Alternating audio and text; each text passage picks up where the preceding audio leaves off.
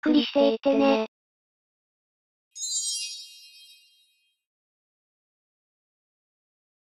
こんにちは。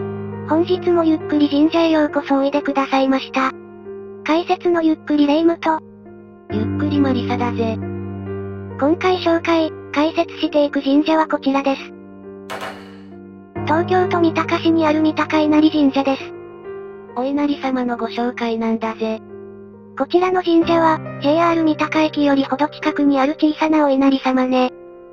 確かに、パッと見でこじんまりしているのがわかるな。こちらの神社も、近隣の再開発によって移転や建て替えが行われた神社よ。変額も鳥居もお社も新しいな。現在鎮座しているこちらの場所には、2015年に移設されたみたいね。おお、お社には小さなお狐様がたくさんいるんだぜ。ここにも木彫りのお狐様がたくさんいるわね。こんなにたくさんお狐様がいるのは初めてなんだぜ。どのお狐様も可愛いな。小さなお稲荷様だけど、地元の方に愛されて、場所やお社が変わってもあり続けている素敵な神社ね。この矢印のところがお賽銭箱になっています。それじゃあ、一緒に参拝していきましょう。こちらのマンション裏手の一角が三鷹稲荷神社ね。鳥居の高さが2メートルないくらいなので、くぐるときは気をつけてね。変額も綺麗だな。よろしくお願いいたします。小さいながらも、作りはとっても成功なんだぜ。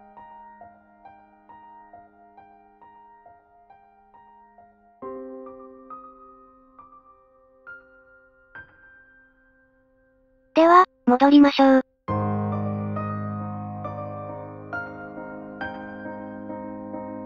ありがとうございました。いやー、小さいながらも綺麗で愛嬌のある神社だったな。そうね。奥行きもそんなにないから、参拝するときは一人ずつしか入れないくらいのコンパクトな神社ね。それでも、細部までしっかりと作られていて素敵なお稲荷様だったわ。こちらの神社のご祭神様は、羽化の御霊の神なんだけど、詳細な来歴は不明だけど、この辺りも昔は田畑が広がっていたので、五穀豊穣や商売繁盛を願って建立されたみたいね。農業地帯とか商業施設があるところにお稲荷様が多いのにはそういった理由があるんだな。以前解説したけど、神社は、日本全国に約10万社あるんだけど、そのうちの約3万社が稲荷神社なのは、日本はもともと稲作が盛んだったことと、大きな町で商売が発展していったことから、お稲荷様が多く建立されたと言われているのよ。歴史的な背景を知ることができるのも神社の魅力だよな。日本という国に昔から根付いている信仰が神社になったり、願いを込めた神様を祀ったり色々な歴史があるからね。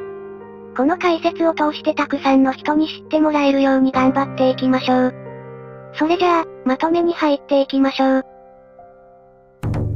1、神社名は、三鷹稲荷神社です。2、こちらの神社のご祭神様は、羽化の御霊の神です。このチャンネルでもおなじみの、稲に宿る神秘的な精霊の神様です。3、こちらの神社のご利益は、五穀豊穣、商売繁盛です。4、こちらの神社の所在地は、東京都三鷹市下連雀山の34の15です。アクセスは、JR 三鷹駅より徒歩で約3分です。5、こちらの神社は、本社は不明でした。おそらく、京都伏見稲荷大社ではないかとの言われもあるようです。2015年に現在地に建て替えられました。一覧です。